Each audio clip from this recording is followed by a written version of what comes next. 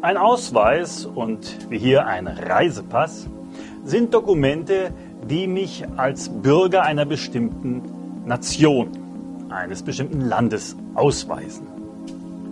Als Bürger eines Landes habe ich gewisse Verpflichtungen und gewisse Rechte.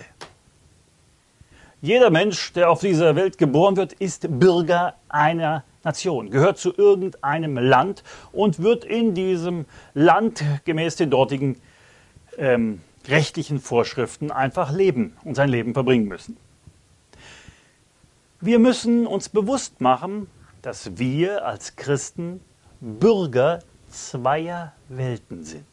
Wir sind nicht nur deutsche Staatsbürger oder schweizerische, österreichische oder sonst irgendeine Nation, sondern wir sind gleichzeitig Himmelsbürger.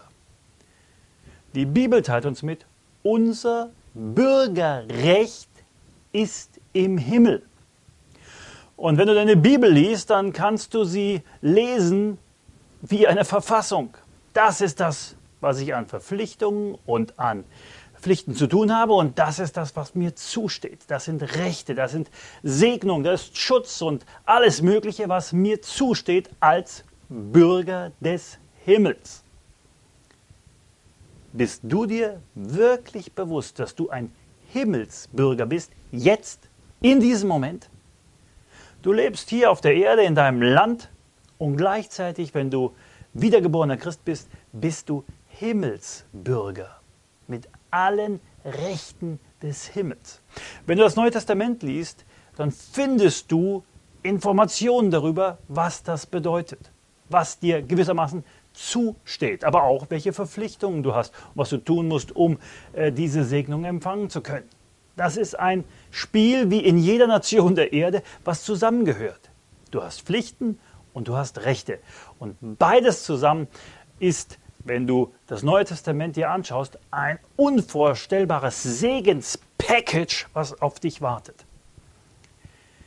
Ich möchte dich einladen, dass du im Neuen Testament einfach mal darin stöberst, wo sind Dinge, die das Bürgerrecht, was ich im Himmel habe, einfach beschreiben.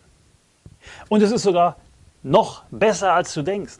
Denn du bist nicht nur Himmelsbürger, sondern du bist sogar hier auf dieser Erde Boot Botschafter des Himmels, Botschafter an Christi Stadt.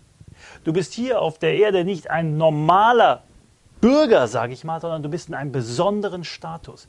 Du genießt den Schutz des Himmels, du genießt den Status eines himmlischen Botschafters hier auf der Erde. Wenn du dir bewusst machst, was ein Botschafterstatus hier in unserem ganz normalen Leben bedeutet, dann bekommen wir ein Verständnis dafür, was es heißt, Botschafter des Himmels sein zu dürfen. Ein unvorstellbares Vorrecht. Etwas, wo wir wirklich dem Herrn für danken können, ihn preisen können. Wir sind herausgenommen, wir sind eingesetzt im Himmel, wir sind Bürger des Himmels und hier auf der Erde sind wir erhoben in den Stand eines geistlichen Botschafters. Ich lade dich ein, dass du darüber nachdenkst, dich damit beschäftigst und dir bewusst machst, ich bin Bürger eines Reiches, was völlig anders ist, gigantisch ist, fantastisch ist, genial ist. Ich bin nicht nur Bürger hier meines Landes, sondern ich bin Bürger des Himmels. Und mein Gott und mein Herr ist Jesus. Ich glaube, Gott hat mehr für dich.